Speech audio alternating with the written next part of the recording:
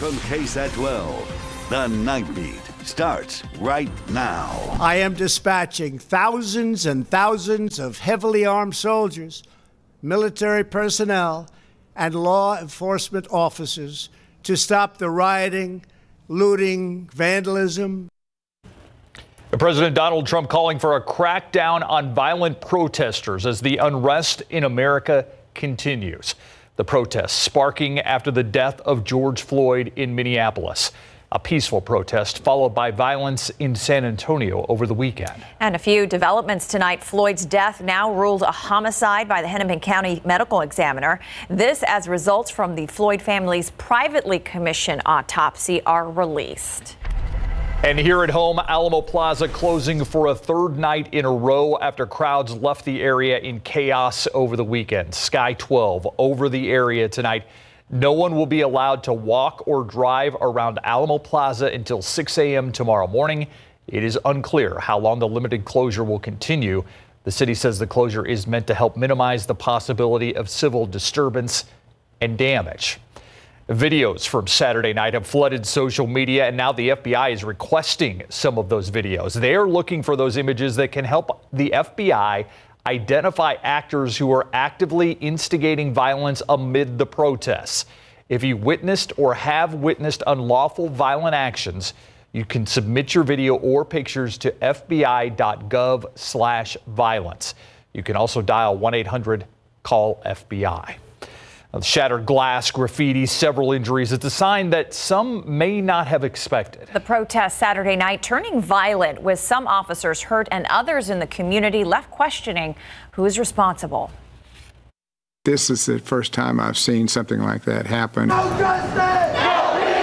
What started as peaceful ended in chaos with dozens of business impacted, windows busted, and property defaced. The actions also took residents by surprise. Looters are something that is an unacceptable part of protesting. It broke my heart. It made me very, very sad. This viral Facebook post shared more than 5,000 times showing a father and veteran SAPD officer with a wound to the head and in need of stitches. Police Chief William McManus saying bottles and bricks were thrown at officers. We had another officer who was hit in the knee with a brick. At least three officers were injured. Police Chief William McManus making it clear the organizers of the protest were not to blame. They said that they were going to start at 5. They were going to march to police headquarters at um, around 6 or so, light candles, have a vigil, and disperse at 6.30. And in fact, they did just that. The remaining people were the agitators. Those agitators first believed to be from out of town, but police learning out of the six arrests made Saturday night, many are from San Antonio and one from Uvalde. The ugly scenes from late last night certainly didn't remind me or anyone else of our San Antonio. Under other circumstances, I would say yes, I was surprised, but I'm not because of what happened in Minneapolis. George Floyd's death igniting a call for change and a fight against racism. Floyd pronounced dead after a now former Minneapolis officer pressed his knee on his neck for several minutes. Today, Floyd's brother reacting to the destruction around the country. Now what are y'all doing? What are y'all doing? Y'all doing nothing. Because that's not going to bring my brother back at all. Just hours after the violence, many in the community showed up in support of businesses to help clean up broken glass and board up windows. It was a rally of San Antonians helping San Antonians. That's why local journalists need to be a, not afraid to go to work, and the and our and our government officials need to let them go to work as the first informers, and the public will then uh, be empowered to make responsible decisions about how the powerful are doing or or the right the rightness or wrongness of what the protesters are protesting. That message coming from Gordon Smith, president and CEO of the National Association of Broadcasters, in an interview with our Detroit sister station, speaking about the importance that local TV news plays during this time of a pandemic and protesting across America. He went on to state how important it is for reporters not to be fearful and that the media should be protected from attacks by police and protesters. We were there when another protest popped up for the third day in a row. Today, about 30 people led a peaceful march around the Bexar County Courthouse, chanting no justice, no peace, no racist police, and Black Lives Matter. Bexar County Sheriff Javier Salazar also showed up with several deputies and marched alongside the group. Tonight, we speak with Sheriff Salazar coming up in our KSAT Q&A.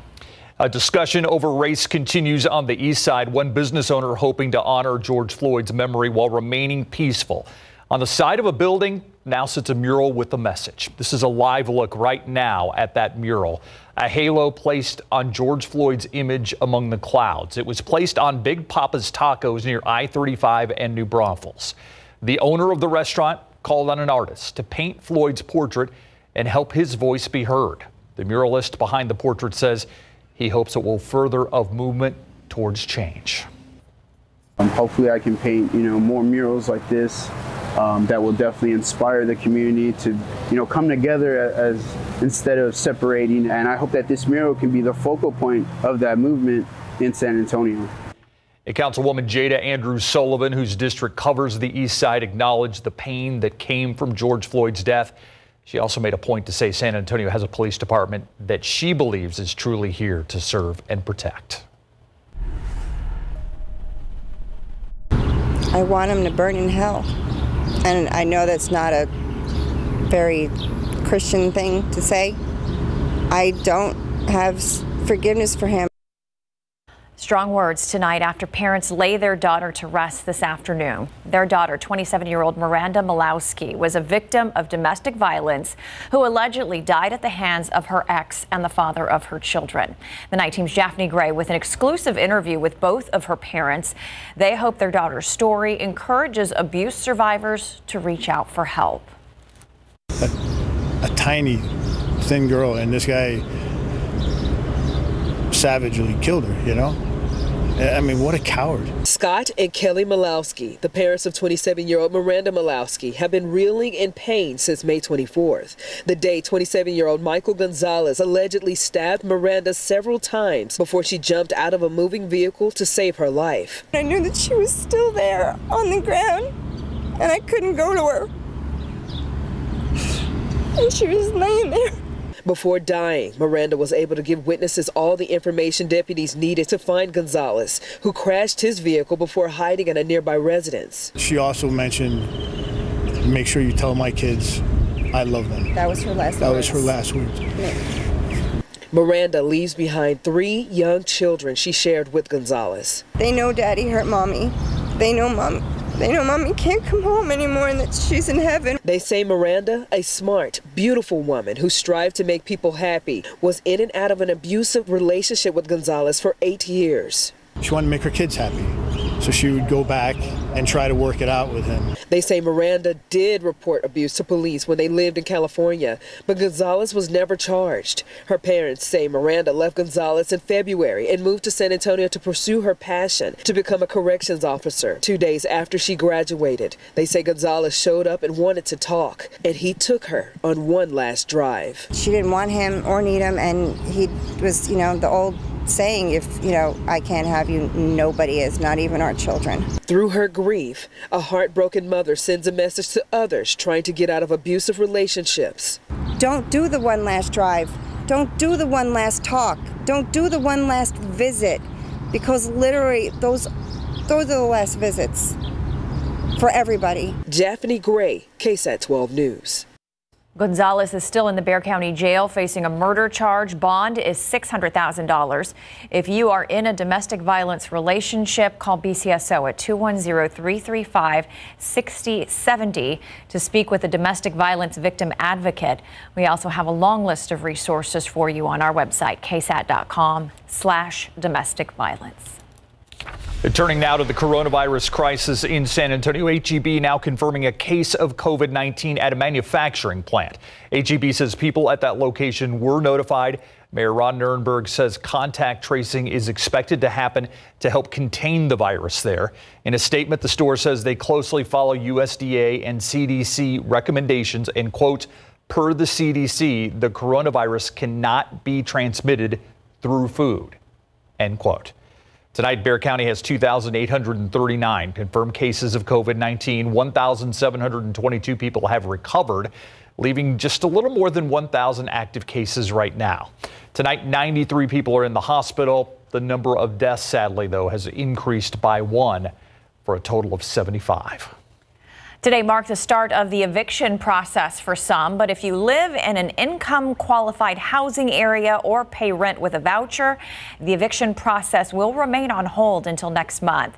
The city and the county is still getting the word out on their emergency housing assistance programs. The city helps pay rent or mortgage for those in need. So far, more than 17 million of the 25 million dollars has been earmarked to help families, but there is still room to help others in need. There are just some qualifications you will need to fall under. That means somebody who's making around $50,000 for an individual or $72,000 for a family of four, they must prove an economic hardship related to COVID. So they lost their job, they reduced their hours, or maybe there was an emergency expense, or maybe they had childcare they had to pay for and they could not make their housing um, payment. For more information on the Housing Assistance Program, you can call 311. Is still ahead on the night beat. Bexar County Sheriff Javier Salazar will join us live for tonight's KSAT Q&A. His march alongside protesters today. We're also hope to talk to him about the latest effects on the jail from this coronavirus pandemic. And with some disinfectant products becoming hard to find, some are asking about alternatives like hydrogen peroxide. Will it work? And are there any dangers to consider? It's coming up next in KSAT's Trust Index.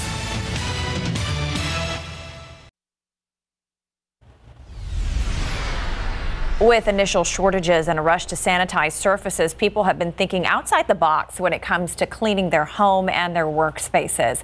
Wipes and bleach flew off the shelves, leaving the internet to swirl with claims about other products capable of killing COVID 19. One such product? hydrogen peroxide. Many viewers have asked if it can be used as a disinfectant. So the night team's Courtney Friedman ran it through our KSAT Trust Index. You, our viewers, are wondering if it's okay to use hydrogen peroxide to disinfect your surfaces. Well, our experts have a multifaceted answer. Hydrogen peroxide is listed on the CDC's website. Dr. Ruth Berggren with UT Health San Antonio's Long School of Medicine says hydrogen peroxide can, in fact, kill COVID 19. But that doesn't mean it's the best thing to use. 3% hydrogen peroxide, which is what you can buy over the counter at the drugstore, is actually a higher concentration than what you generally see in the disinfectants. Uh, in the registered disinfectants, it's around 1.4%, which is about half of that. So the potential risk you run with using that 3% that you buy in the drugstore is it can be corrosive. It might bleach surfaces. It might actually cause some breakdown of surfaces. University Health System Hospital epidemiologist Dr. Jason Bowling says there are specific sprays you can buy that contain hydrogen peroxide in lower concentrations, and those are okay for your surfaces. Dr. Berggren also added the fact that these hydrogen peroxide bottles a lot of us keep under our cabinets for a while can actually expire. I looked at mine for my house the expiration date is in 2017. Whoops. That's one reason she says you could use alcohol or bleach. I just bought a gallon of bleach for my household last weekend. Um, and what you want to do is to put five tablespoons of bleach in a gallon of water, or you can do four teaspoons in a quart. So, when it comes to using hydrogen peroxide as a COVID 19 disinfectant, our KSAT Trust Index says be careful. It can work, but might ruin your stuff. Courtney Friedman, KSAT 12 News. Now, if you have a claim, picture, or video you'd like us to check out, you can submit it to us at ksat.com slash trustindex. Happening tomorrow, San Antonio Mayor Ron Nirenberg will deliver his State of the City address at 7 p.m. We will carry it live right here on KSAT 12.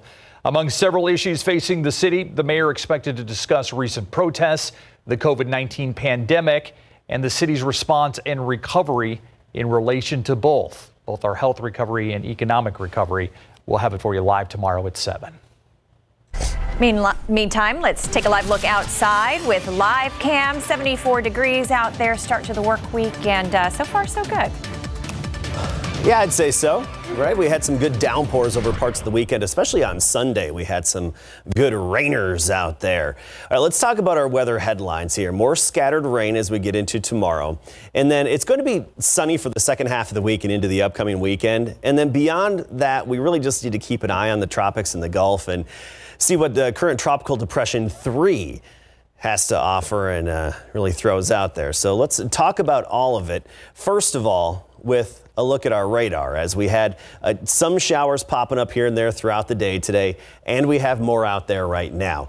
Just far east of San Antonio, highly isolated, but a good downpour developed near Hallettsville over the past few hours, and it even electrified a little bit, and that pushed off to the northwest, leaving in its wake a few tenths of an inch of rain estimated by the Doppler radar. Otherwise, we don't have really anything else to speak of out there at the moment. But we are expecting more to pop up and develop as we get through the day tomorrow. Now, this is all in response to the same upper level low that was affecting us over the weekend. This upper level swirl, this counterclockwise circulation, it's broad, but it's got that energy associated with it to really help kickstart some of those showers and storms. And luckily, with the composition of our atmosphere right now, we're not looking at the threat for severe weather, just heavy downpours here and there, widely separated with a little bit of lightning and thunder. That's about it. Now, this does move out of town in the coming days, and that's going to drop our rain chances. So tomorrow scattered 40%.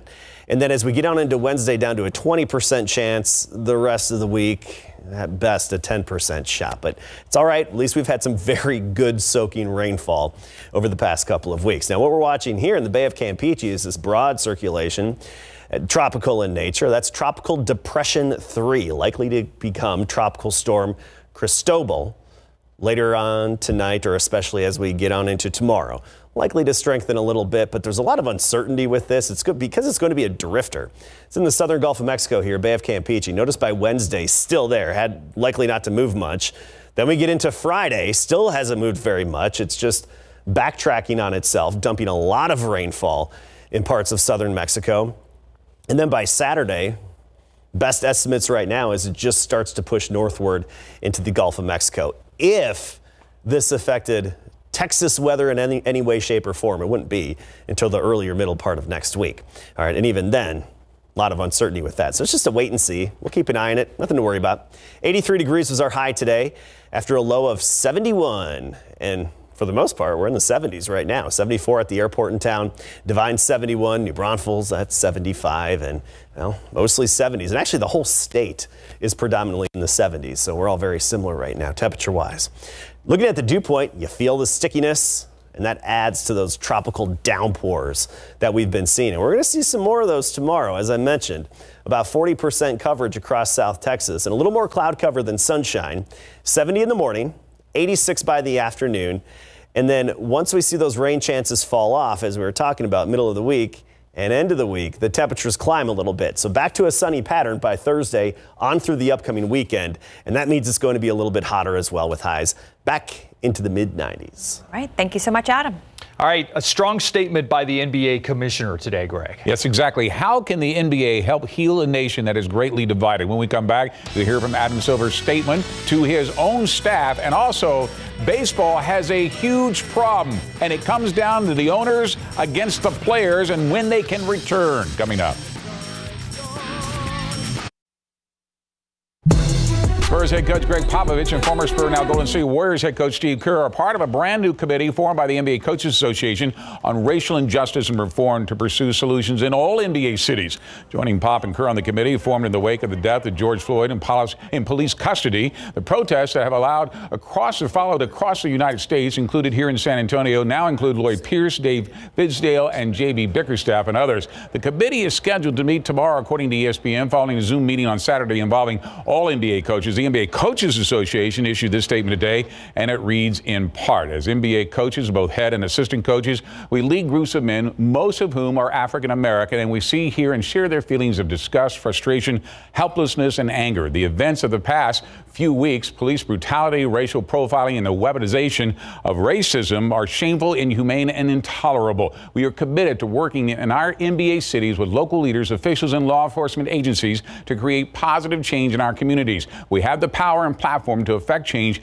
and we will use it. As NBA Commissioner Adam Silver prepares to reopen the league following the shutdown caused by the coronavirus, now he's shifted his focus to address the death of George Floyd in police custody and the resulting protests across America, including here in San Antonio. In a memo sent to league staff members obtained by USA Today, Silver wrote, just as we are fighting a pandemic, which is impacting communities and people of color more than anyone else, we are being reminded that there are wounds in our country that have never healed. The statement continued with this racism, police brutality, and racial injustice remain part of the everyday life in America and not be ignored. At the same time, those who serve and protect our communities honorably and heroically are again left to answer for those who don't. We have to reach out, listen to each other, work together to be part of the solution. And as an organization, we need to do everything in our power to make a meaningful difference. Spurs sharpshooter Marco Belinelli also getting involved in protests have resulted in the death of George Floyd by writing this today on his Twitter account I'm a Caucasian man, a white athlete. I live in a privileged situation, but I don't want to be silent while my black people are fighting for their rights. We are in this together. Please don't be silent. Black Lives Matter. The NBA Board of Governors will vote on the return to play proposal this Thursday, and it appears the 22 team format will be a play in tournament, I should say, before the playoffs is the most popular scenario. It would include the top 16 teams, and in addition, the teams that are at least within six games of the eighth and final playoff spot. That would include the Spurs, who are four games back of the Memphis Grizzlies for the eighth and final playoff spot in the Western Conference, with games scheduled to start July 31st at the Wide World of Sports Complex at Disney World in Orlando, Florida. Legendary Auburn football coach Pat Dye passed away today. One of the winningest coaches in school history. Dye today was in hospice care due to kidney failure and liver failure. Earlier, his son Pat Dye Jr. had told us his father tested positive for coronavirus, but he was asymptomatic. Inducted into the College Football Hall of Fame in 2005, Dye coached the Tigers in 1981 to 1982, and during his 12 seasons at Auburn, had a record of 99, 39, and 4, winning six bowl games. The National Coach of the Year in 1983 and was three-time SEC Coach of the Year. Pat Dye leaves us at the age of 80.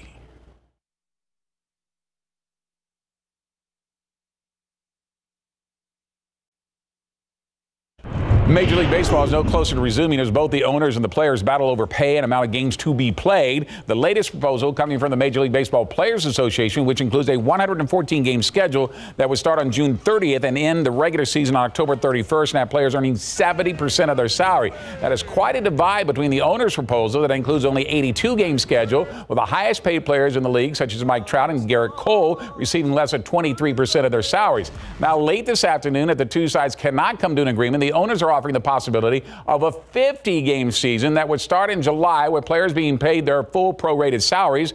This offer, according to ESPN, would have the players only receiving just under 31% of their salaries. The owner's concern is that they will lose money for every game played without fans and the fear of a second wave of the coronavirus.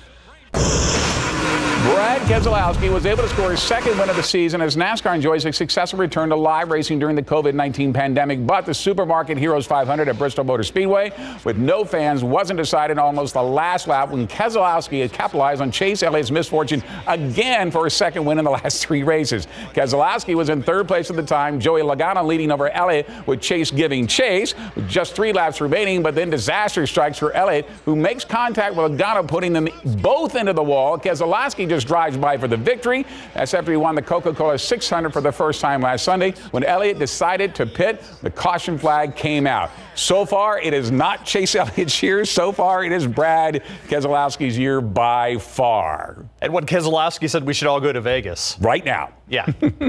Thank you, Greg. Our KSAT Q&A is coming up. Bexar County Sheriff Javier Salazar joins us live next.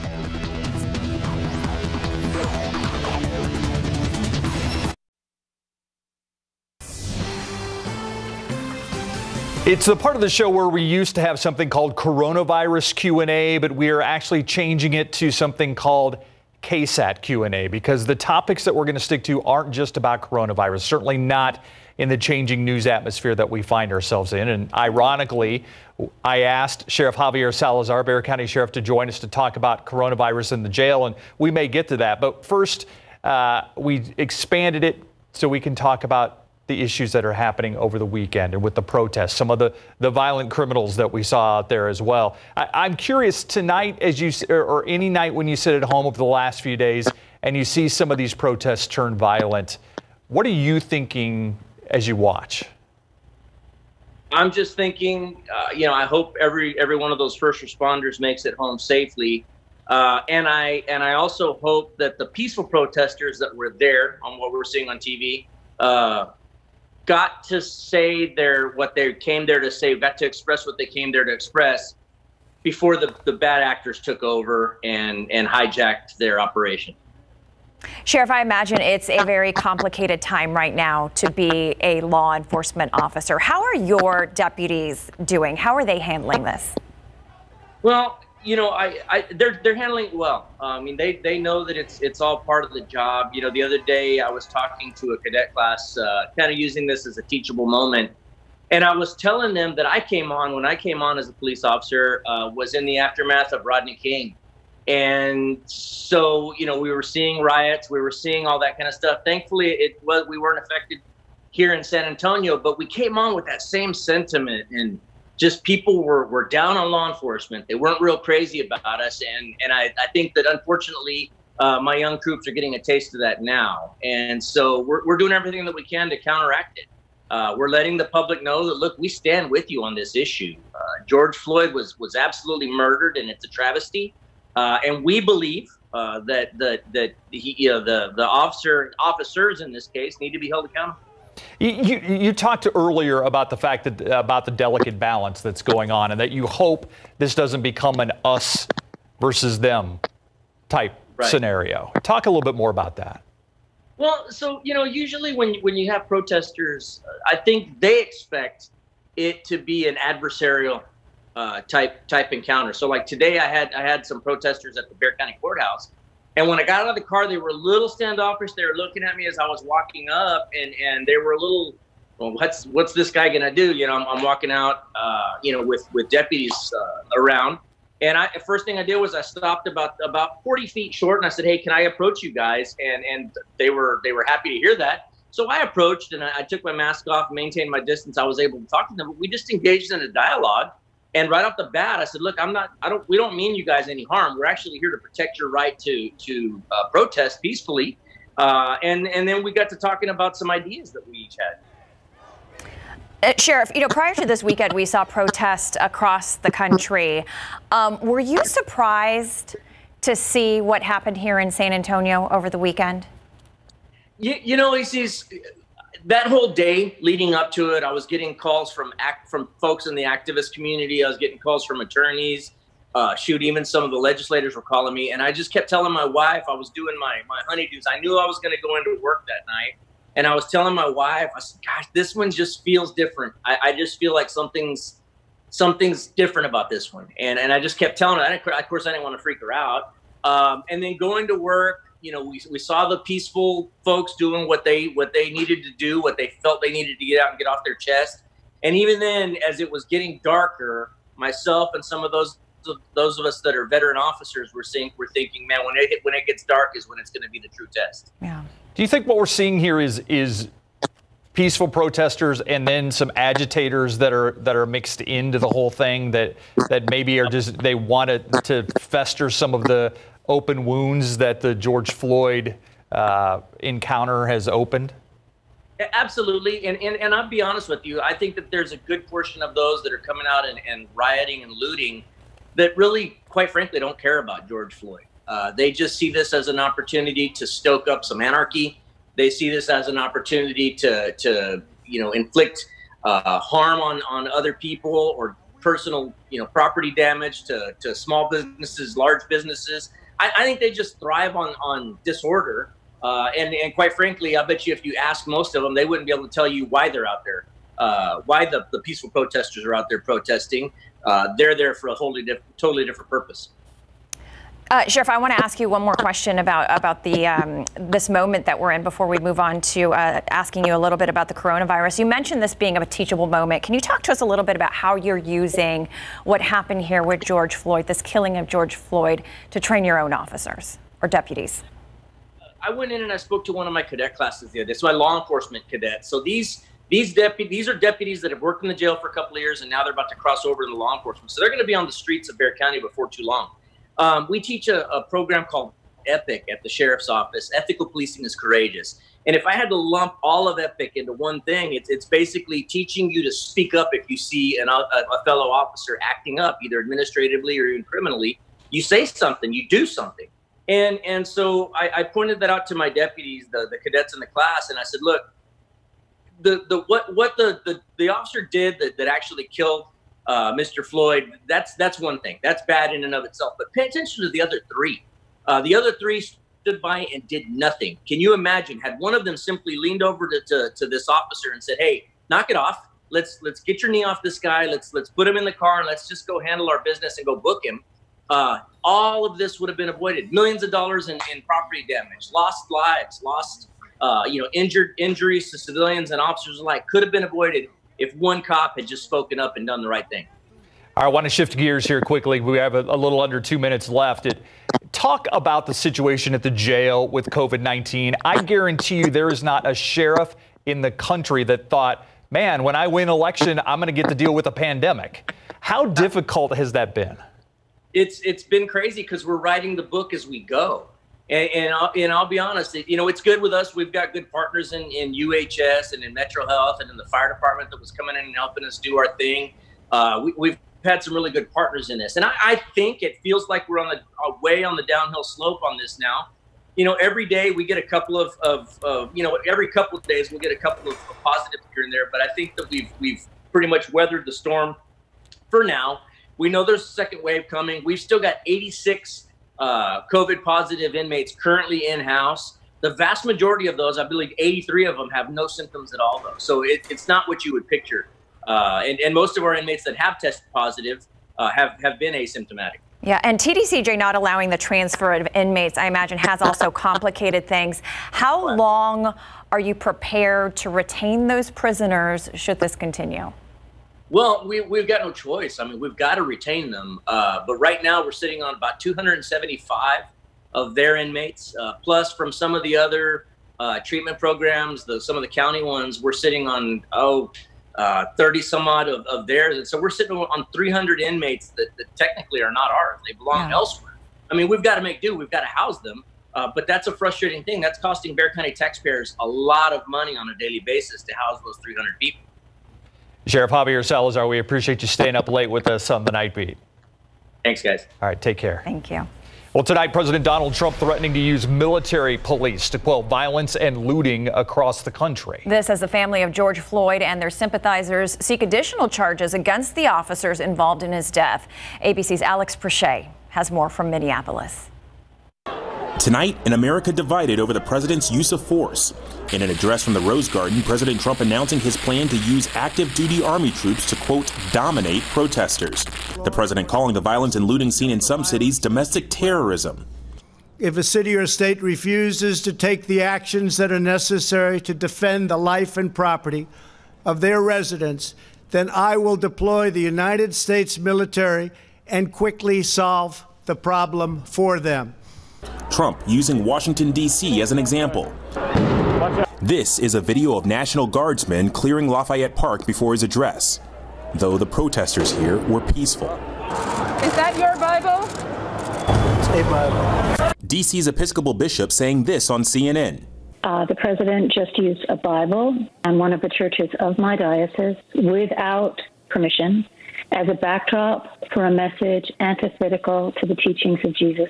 The remarks coming the same day as George Floyd's grief stricken younger brother Terrence made a trip to Minneapolis.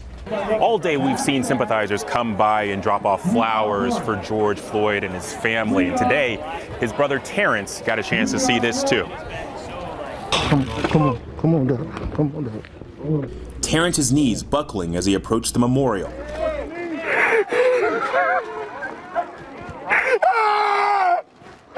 Dropping to the street, tearfully speaking to his lost brother. I need you and Pops to watch over me. I know you got me. Right. Walk first. Right. I know what you want. His message to the crowd, a strong one, demanding the violence stop. My family is a peaceful family. My family is God fearing and encouraging people to vote. Not just vote for the president, vote for the preliminaries, vote for everybody. Former officer Derek Chauvin under suicide watch charged with third degree murder and manslaughter. Two autopsy reports released today, both ruling Floyd's death a homicide. The Floyd family also pressing for arrests of the other three officers involved to be charged with murder. What's his name? George Floyd. What's his name? George Floyd. Alex Perez, ABC News, Minneapolis. Around the nation, new worries of a second wave of COVID 19. That story coming up after the break.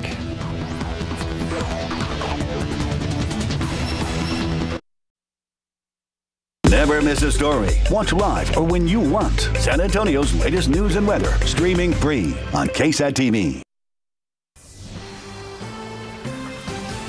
This week, two of the nation's biggest issues now colliding as Americans flood the streets in protest over the death of George Floyd. Medical experts worrying that close contact could ignite new outbreaks of COVID 19. ABC's Romina Puga has more. With tens of thousands of people protesting George Floyd's death, packing streets and parks, some wearing masks, others going without, American health officials fear one crisis could amplify the other. We are really worried that this might be a trigger for more uh, COVID infections. The coronavirus is already hitting black and brown communities hardest, and that's who's mostly out in the streets. Atlanta's mayor is encouraging demonstrators to get tested. If you were out protesting last night, you probably need to go get a COVID test this week. The close contact, vigorous yelling and exhaling, and coughing due to tear gas, all circumstances that could exacerbate the spread of the virus. How many young people went home and kissed their mother hello, or shook hands with their father, or hugged their father, or their grandfather, or their grandmother, or their brother, or their sister? And spread a virus. And evidence of the virus's spread is plentiful.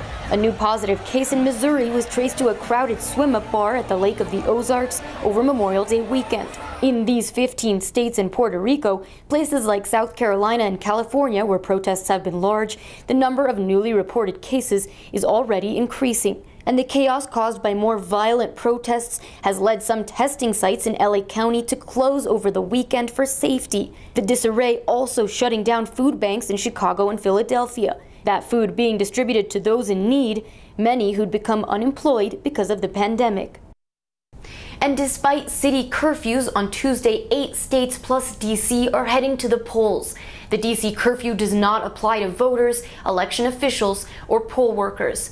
In Colorado, Romina Puga, ABC News.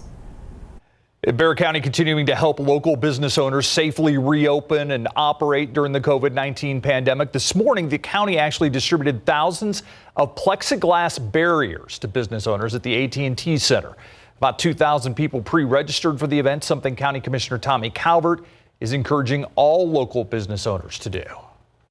This is your taxpayer dollar money being reinvested in you and take advantage of these opportunities as a small business owner uh, to get a little return and to keep safe. We may see another wave uh, coming in the next couple of weeks. So we feel good about the fact that we can get the protective equipment out, deployed, and make things as safe as possible. If you're a business owner and are in need of a plexiglass plexiglass barrier. There are two other distributions scheduled for this week. You can find more information and a link to register on ksat.com. No child should go without a meal. And Northeast ISD is continuing its part in making sure mouths in its district are being fed. The school district is actually extending its curbside meal program through the month of June. Meal packs are being given to any child who needs one at no charge this week. The first distribution was today. Those packs include breakfast and lunch for two days. Another distribution is set for Wednesday and contains five days worth of breakfast and lunch. You can visit Northeast ISD's website for more information on pickup locations and times. Take a live look outside with live cam this evening. Hard to believe that a week ago we were dealing with a lot of rain and no such thing today. And right before yeah. that, remember we were almost talking about watering restrictions. Yeah. So the rain came and uh, changed all that. It's amazing how much can change in a short period of time. Absolutely. And yeah, we were just a hand, not even about three, four weeks ago talking about watering restriction being watering restrictions being right around the corner and that's far from the case right now. I mean the aquifer up a tenth of a foot today, but here's the key. We're up to 672.2. So we're 12 feet above the critical 660 point which is when we can start seeing those restrictions. And we're nine and a half feet above average for the month of June. Mold is high at 8,000 whenever we get into these damp periods and good, uh, good rainfall patterns. It always comes at a bit of a cost, and that's with a higher mold. Take a look at this picture from Dilley. This is nice. Rainfall yesterday and today over two inches of rainfall in that rain gauge. So it's nice to see that. Now, not everybody had that type of accumulation. Some of us didn't see anything, but there were some pockets. See that near Dilley right there, that yellow? Some pockets of really good rainfall and accumulations over the past 48 hours. So it's nice to see this, especially along the coastal bend, which is one part of our area that really needs the rainfall and still in drought also. Maverick County and around Eagle Pass still in a drought, so it's good to get that. You look at the radar over the past three hours, and one downpour popped up near Hallettsville, and that quickly moved out of town and pushed out of our area and now has dissipated. So nothing left out there. Can't rule out a sprinkle tomorrow morning and then some more scattered activity in the afternoon. But what we're also watching in the tropics, Tropical Depression 3 likely to become a tropical storm. And this is a weak system that's just going to drift in the Bay of Campeche. Look at this track and the potential track here as we get into Wednesday, the middle part of the week. Hardly moved. Thursday, Friday, minimal movement. The circle, by the way, indicates the potential error in this path. So it could end up anywhere within that circle, but still, that's not much of a change all the way through Friday, the end of the work week. We get into Saturday and it might kick northward into parts of the Gulf there. So just something for us to watch, nothing to worry about. Temperature wise, 70s just about everywhere across the state. Fredericksburg and Kerrville at 69. Del Rio's 78. New Braunfels right now, you're at 74. Look how temperatures climb a bit later this week. We'll get more sunshine. That'll boost readings up into the mid 90s by the end of the week and into the upcoming weekend. But tomorrow we'll start the day at 70, then top out at 86 about 40% chance of rain, so some scattered pop up downpours again. A little bit of lightning and thunder possible. We get into Wednesday, those rain chances fall off, and then it's off to a sunny stretch Thursday into the upcoming weekend. EC Steve? Thank you, Adam. Sunscreen is vital to protecting your skin, especially in the summer months. We'll tell you which products get top marks coming up next.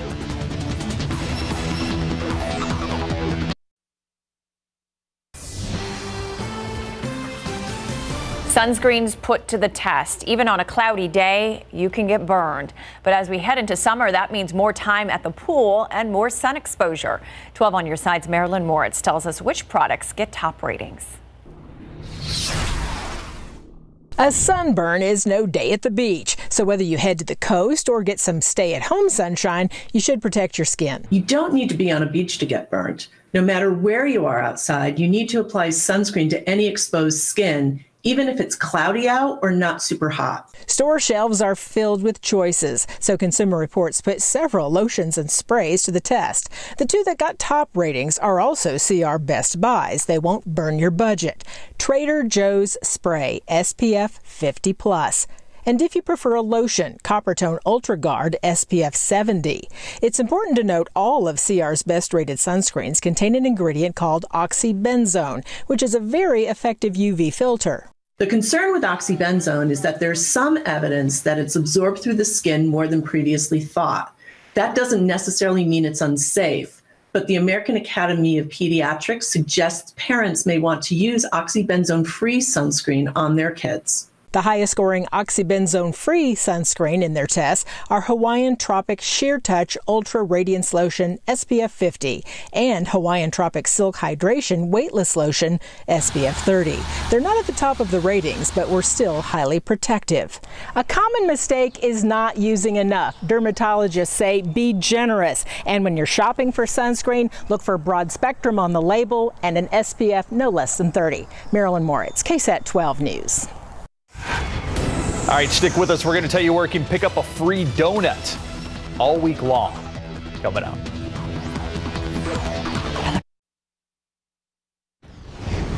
And no matter the hour, we are always online at ksat.com. Our web team is keeping track of the coronavirus pandemic with the latest numbers and the many efforts underway to help our community through this trying time.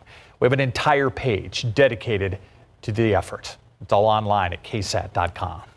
AT&T's new streaming service HBO Max is up and running, and we now know that it picked up 87,000 new users on its first day of release last Wednesday.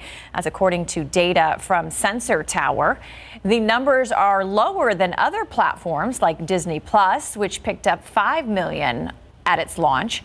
Warner Media Entertainment Chair Bob Greenblatt says he said he doesn't want HBO Max to be a replacement for popular streaming services like Netflix or Amazon, but to also be an option alongside them. All right, a heads up for donut lovers of those who just like getting stuff for free, if you like that as well. Krispy Kreme is giving away free donuts all week.